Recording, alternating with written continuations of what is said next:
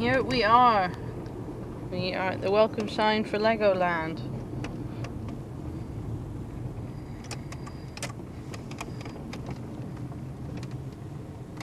Where do we go?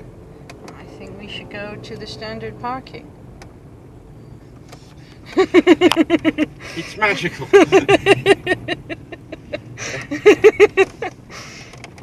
Oh, really full. it is. Pe- people like Legos. They do. Hello. Hello. That is Chewbacca, and and here's some uh, dinosaur. Look. and Yes. here- but you can't take the bricks off, No. and even though um, I Yeah. tried. Yes, And this is and the big Lego shop. yes, There's lots of Star Wars around.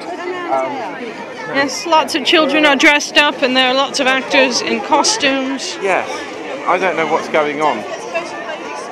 I think there's a queue for the shop.